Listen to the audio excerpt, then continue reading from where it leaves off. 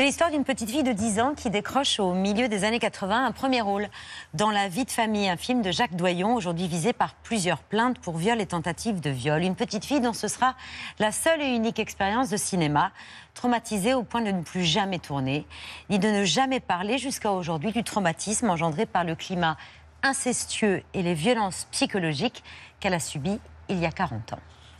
La vie de famille première. Il y a des scènes quand même un peu difficiles à jouer quand je pense à une scène où tu pleures. Mais Jacques me disait euh, si tu pleures pas, ben on fera une scène sentimentale. On fera? Une scène sentimentale. Tu feras une scène sentimentale. Je déteste ça. Je veux pas. Je veux pas supporter. Alors, alors euh, bon, je me disais de toute façon, il me la fera pas faire. hein. Seulement pour me menacer. Alors, euh, bon, je disais, il faut que je pleure, hein, parce qu'au cas où il le ferait, quand même, j'avais quand même un peu la trouille. Et alors, je pleurais, je pleurais, je pleurais. Disais, ah, ça y est, je pleure, je suis contente. Alors, j'étais contente, je pouvais plus pleurer. Alors, euh, après, je repleurais facilement, et puis je jouais la scène et je pleurais encore plus. Bonsoir Mara Goyer. Bonsoir. Merci de votre présence ce soir, vous dont on lit et aime les chroniques dans l'Obs ou les essais consacrés à l'enseignement, votre métier depuis 30 ans, l'histoire-géographie pour des élèves du collège. Aujourd'hui, vous signez ce récit sur les conditions de tournage de la vie de famille de Jacques Doyon, un tournage qui a bouleversé, qui continue de bouleverser votre vie. La petite fille qu'on vient d'entendre raconter comment Jacques Doyon la menaçait de faire une scène sentimentale pour réussir à la faire pleurer, c'est vous. Et c'est l'un des jeux cruels de Jacques Doyon. Oui, je, je suis très émue, je n'avais jamais vu ces images. Et je- qui sont issus d'un making-of. Je- ça me fait très bizarre. Euh, vous avez parlé tout à l'heure de, de traumatisme. C'est vrai que ce, ce tournage m'a énormément marqué, me pèse encore d'une certaine manière, mais je ne me considère pas, moi, comme quelqu'un aujourd'hui de traumatisé. Quoi. Je suis passée à autre chose, je vais bien.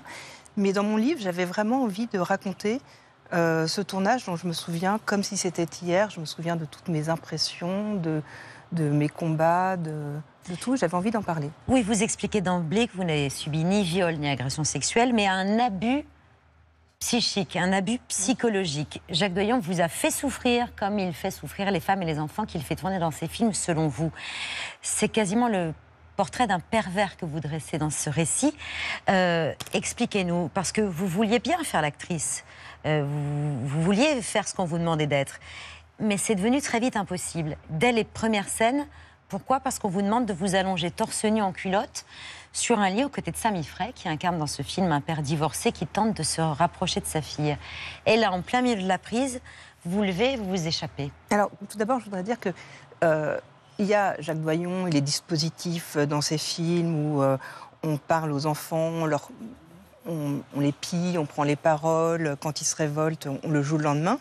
Mais il n'y a pas que Jacques Doyon dans cette affaire, et c'est terrible pour moi de le dire. Mon père est le co-scénariste, je pense que c'est important. euh, voilà, mon livre. Il était présent sur le tournage. Il était présent. euh, il y avait plein de gens présents. Quand le film est sorti, personne n'a trouvé à y redire. Donc voilà, pour moi, il y a vraiment une, une responsabilité collective sur la manière dont sont traités les enfants. Euh, on, on encense l'enfance, on la glorifie tout en la tyrannisant et en la piétinant. Je pense que c'est une chose très vraie à l'époque, euh, qui est encore assez vraie. Alors après, euh, oui, ce qui était, on est- il y avait pratiquement que des hommes sur le sur le tournage. Euh, J'avais pas de relation avec Samy Frey, qui était quelqu'un d'assez distant. Euh, et c'est vrai que dès les premières scènes, quand j'ai dû me retrouver en culotte torse nu, j'ai eu le sentiment d'avoir des seins, alors que je n'ai aucun sein euh, à l'époque. Et il y a quelque chose chez moi qui s'est bloqué, et je me suis levée en plein milieu d'une prise, et, je ne pouvais plus. Et c'était l'aboutissement d'un climat dans le film qu'on ne m'expliquait pas. Et d'ailleurs, dans les interviews de l'époque, ils le revendiquent de ne pas m'expliquer. Ils disent euh, Mara posait des questions, on ne l'explique pas. C'est un film qui est clairement. euh, il y a une ambiance clairement incestueuse dans le film. Il y a vraiment quelque chose. On ne me l'explique pas et je me retrouve à jouer une scène dans le lit avec un monsieur que je ne connais pas et dont tout le monde m'a dit que c'était. euh, l'homme le plus beau du monde, euh, le partenaire de Brigitte Bardot. Toutes les femmes, avant que je tourne, me disaient Mais la chance que t'as Et donc, quand je me retrouve dans son lit, alors qu'il a déjà été en plus dans le film, dans le lit de plusieurs euh, autres femmes, il y a quelque chose chez moi qui craque, qui aurait pu passer. Le film est très daté dans ce qu'il montre.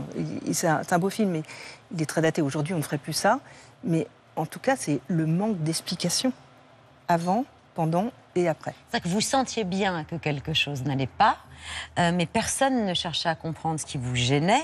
C'est pas les mots qui vous manquaient, c'était l'espace pour vous exprimer. C'est-à-dire quand vous quittez la scène, quand vous quittez le lit, tout le monde est indigné par votre manque de professionnalisme et votre père vous gronde parce qu'on vous dit bah, tu mets en danger le tournage. Oui, que j'étais, je passais pour une petite fille euh, capricieuse et j'avais les mots, mais j'avais surtout, j'étais accablée de honte parce que je voyais bien que dans tout ça il y avait quelque chose de sexuel, il y avait quelque chose de, malsain entre le père et sa fille entre le père et toutes les femmes. Mais comment, à 10 ans, une petite fille peut aller voir son papa ou aller voir euh, Jacques Doyon en disant euh, c'est très sexuel euh, tout ça. J'avais l'impression que, que c'était moi qui voyais le mal partout, donc j'avais l'impression d'être tordue et d'être euh, en plein fantasme. Or, maintenant, quand je revois le film, c'est clairement pas moi qui fantasmais, mais voilà, j'avais les mots pour le dire, mais j'avais pas la possibilité de le dire. Et le, tout ça, c'était utilisé en fait. C'était, c'était pas quelque chose, oui, tout un hasard malentendu. Et puis tout votre malaise mm. était utilisé par Jacques Doyon et par votre père pour nourrir le scénario et les scènes du lendemain. Oui, c'est-à-dire que euh, il y a eu des grandes tensions. Je, piquais des crises. Euh, c'était des crises d'enfants. Ça pouvait être euh, spectaculaire ou exagéré. Mais le lendemain, je devais jouer une scène dans laquelle je piquais la même crise. Voilà, c'était c'était compliqué. Voilà, c'était très, très très dur. Saint Mifray lui-même à l'époque, racontait sur les plateaux télé ces scènes difficiles. Euh, Daniel Toscan du Plantier, d'ailleurs, sent bien, lui pose la question en lui disant ça a dû être compliqué pour une enfant de 10 ans d'incarner un tel personnage et de jouer de telles scènes. Alors justement, l'apothéose, c'est la scène de Madrid dans l'hôtel. C'est pratiquement très délicat, ça.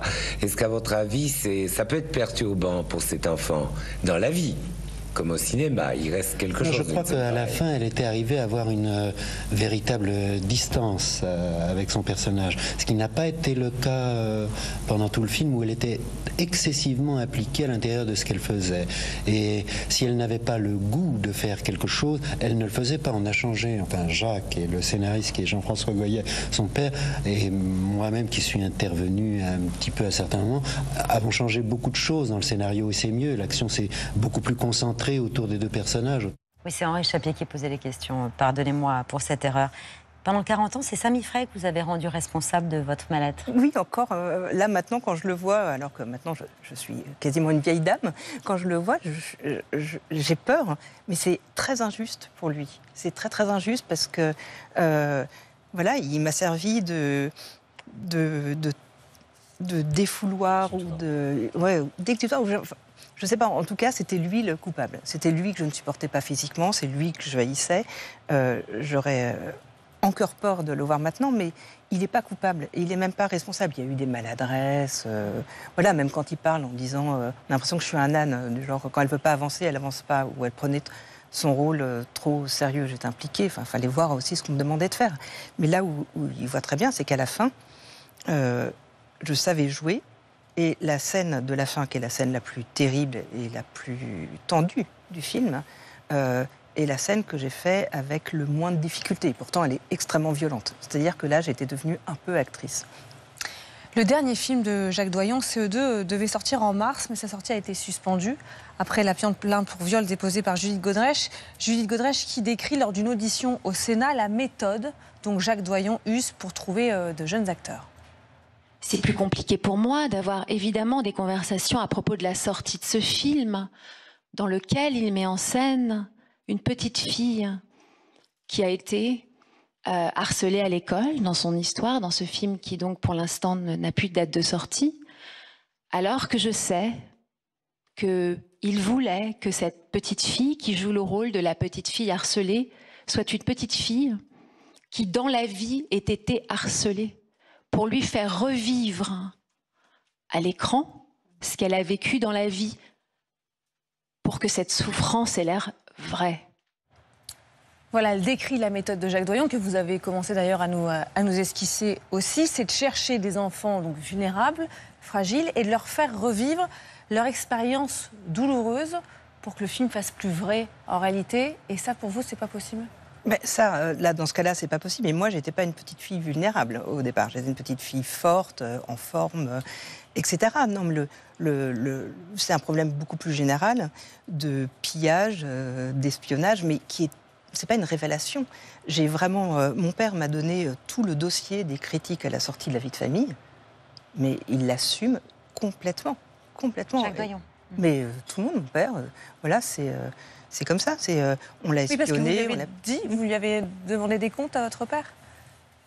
Non, non, parce qu'il était déjà très malade, mais un jour, il m'a- donné cette enveloppe déjà, ce qui m'a beaucoup ému avec toutes les, les critiques, je ne les avais pas toutes euh, lues. Et puis, euh, il un jour, il m'a demandé pardon, mais il était déjà très malade.